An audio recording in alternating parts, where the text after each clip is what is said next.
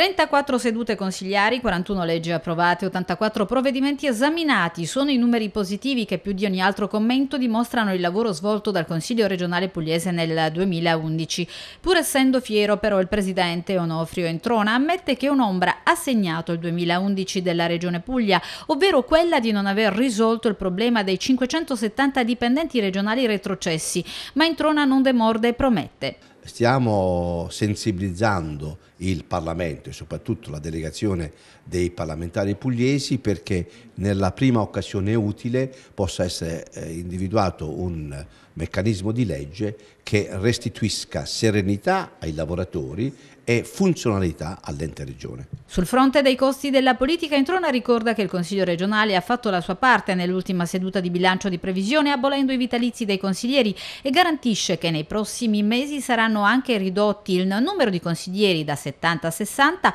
e quello degli assessori da 14 a 12. Nella conferenza dei presidenti con, il, con la quale organizzeremo il lavoro della sessione la prossima settimana eh, indicheremo e, e, e impegneremo i gruppi a individuare la data eh, del Consiglio regionale nella quale andare in seconda lettura per procedere a questa riduzione. Abbiamo pro proceduto in, eh,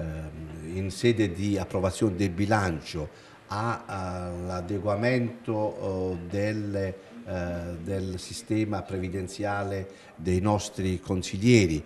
Si sa che dal, dalla prossima consigliatura eh, cesserà